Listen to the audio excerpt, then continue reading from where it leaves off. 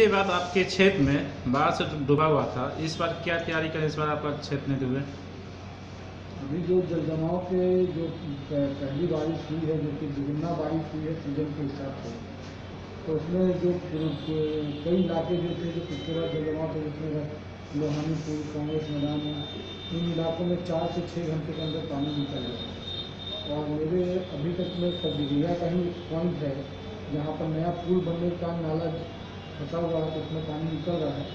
बाकी सभी इलाकों से पानी धीरे धीरे निकल गया है। मुझे लगता है पिछले बार की अपेक्षा जो नगर निगम और प्रशासन ने जो काम किया है सही रूप से, उससे निश्चित पानी तेज़ी से निकल रहा है। कुछ इलाके, जो छिटपुट इलाके हैं, जो खुद में थोड़ा डाउन इलाके हैं, उन्हीं इलाकों में पानी रहा था। बाकी सभी इलाकों से समय के अंदर चार से छः घंटे के अंदर पानी निकल गया।